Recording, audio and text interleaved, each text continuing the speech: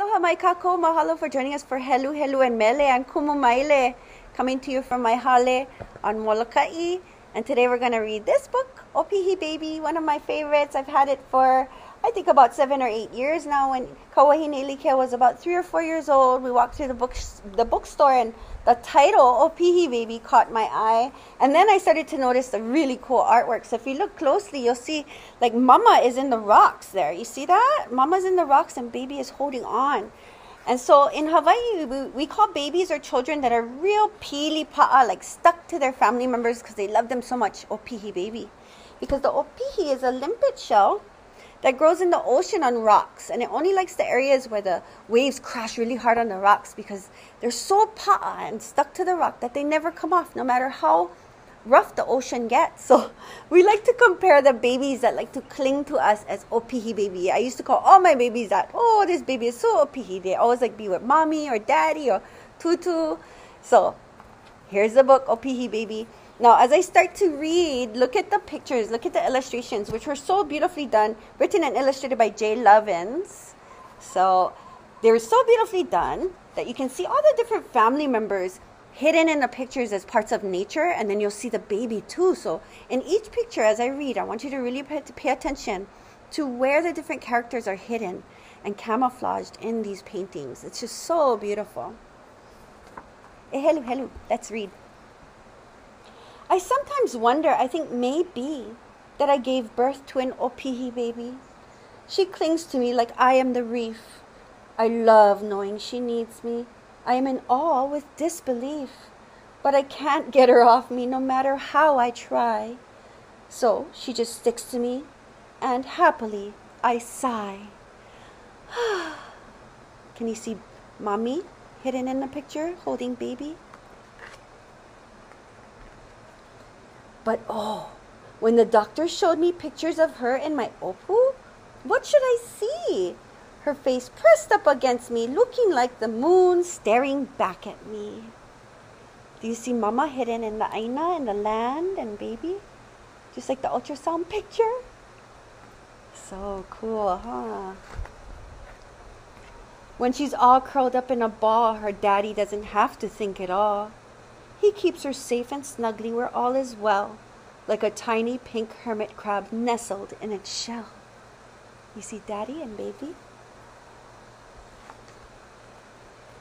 Her tutu will say, She's a gift from heaven. Anyone can see. She's like the morning dew in Auntie Marie's plumeria tree. Do you see Auntie Marie and baby in the pua? If my father were here, he might think that she's as delicate as the tiny bubbles in his favorite drink. Do you see Papa? Hidden in the picture looking down at baby, and baby's made out of bubbles. Oh, I see lots of mea ai. What kind of ono Hawaiian food do you see? Poi, limu, poke, chicken long rice, rice and wala and black crab, a'ama. Ooh. Out on the beach she would lie. She can't huli over. She can't get away. She's like the honu in the sun where they play.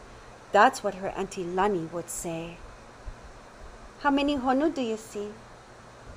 Kahi elua? Try look and see if you can see Auntie Lani hidden in the picture, looking at baby. Cry and hoot. It was such a fright. Her uncle Kalani would say, She's like a pueo. She stays up all night, only wanting to play.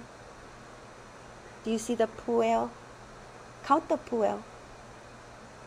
How about Uncle Kalani? Do you see Uncle Kalani looking down at baby?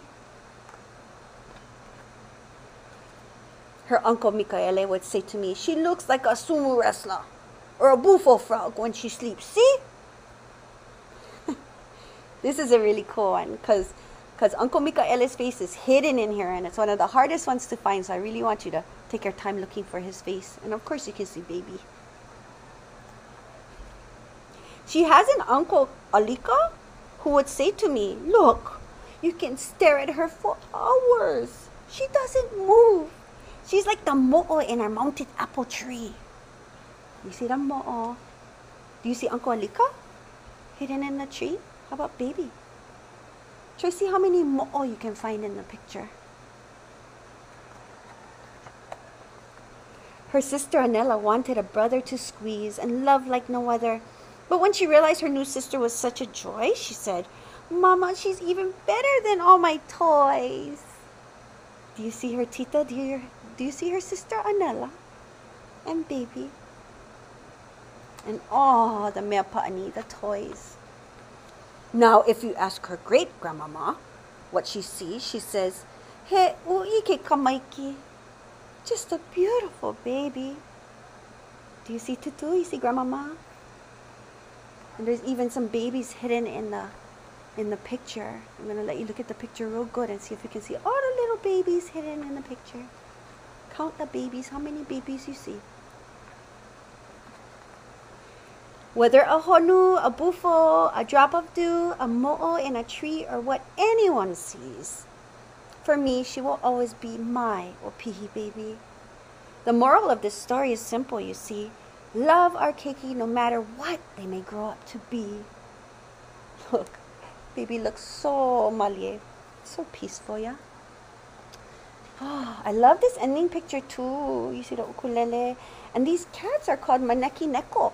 And it's believed that um, if the cat is raising its left paw, that it means come inside my house. If it's raising, raising the right paw, it means I welcome prosperity. So let's look at the end. It has all these really cool things you can look for. I love this puke. It says, how many maneki neko are there? Let's count the maneki neko. Count with me. Ekahi, elua, ekolu, eha, elima, eono, ehiku, evalu, eiva nine maneki neko. Hmm, let's see what else it asks us. Do you know why some wave hello with their right paw and some with their left? Let's read what it says. It says, Maneki neko, said to invite good luck. When its left paw is raised, it's to invite guests, like I was saying, and right paw is raised, it's to invite money or fortune. Fact, huh? We see them all over in restaurants all over Hawaii.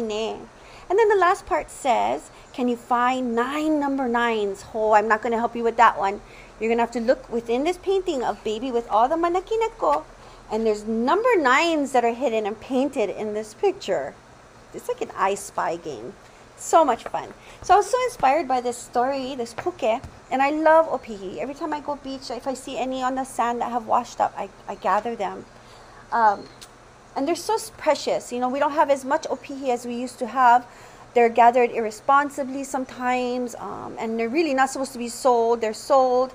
Um, but if they wash up on the beach or if you go gather just for your ohana, then hey, mai ka'i loa. That's so mai ka'i. Now, I did some artwork because I love opihi so much. So the opihi shell has this really cool pattern on it. And so I decided to follow this pattern and I made it different colors because I didn't want to just stick to the black and white. But if you look at the, the slide, it shows you step by step that I took to recreate this picture. And I used watercolors. I even used like a metallic watercolor. So if you look in the sun, you can see it kind of like sparkle a little bit. It's really pretty. And I had a lot of fun making it. So I hope you're inspired by this. Make some opihi art. Go down to the beach, see if you see some opihi shells up on the sand. They're just so beautiful. And remember opihi baby, what it means, yeah? The babies that just like hold on all the time. Pilipa, just like the opihi shell. There's a really great song that was written by Ka'au Crater Boys that people in Hawaii love, I love, I grew up with, and it's called Opihi Man. So, of course, I'm going to invite Kahale to come and play the ukulele while we jam Opihi Man, and the words will come up so you can sing along with us, okay? All right, mai kai. All right, look who we got here. We got Kahale.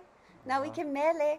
So we're going to sing Opihi Man by Ka'au Crater Boys, and I want you guys to join along with me, and the lyrics are on the screen. We're going to do the three verses, and on the last lines, Opihi Man, another swell is coming your way. We're going to do it four times, then boom, done. Okay? Take it away, Kahale.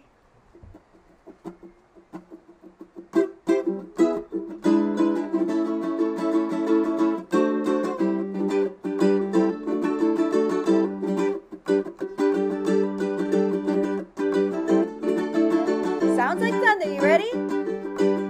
Sounds like thunder, gotta head for the high ground. Wild water coming, no fooling around. Well, pea man in the sun, well, pea man grab your bag and run. Well, pea man another swell is coming your way. Well, pea man another swell bag, gotta fill up your bag with the yellow and black.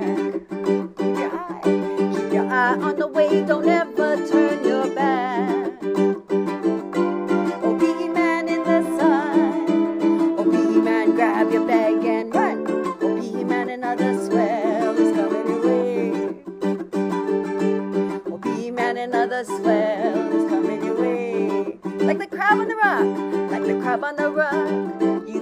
real fast,